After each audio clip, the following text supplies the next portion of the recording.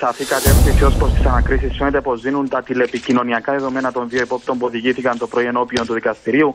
Σύμφωνα με όσα ανέφερε ο ανακρίση της υπόθεσης ενώπιον του δικαστηρίου, υπάρχει μαστηρία η οποία ενισχύει την ήδη υπάρχουσα ότι ο 38χρονο ύποπτος βρισκόταν στο χώρο που παραλήφθηκε το όχημα το οποίο η αστυνομία θεωρεί ότι χρησιμοποίησαν οι δράστες στις 17 Φεβρουαρίου κατά της δολοφονικής επίθεσης εναντίον του Αλέξη Μαυρομιχάλη, στην οποία έχασε τη ζωή του 28χρονο Στέφανος Παπαδόπουλος.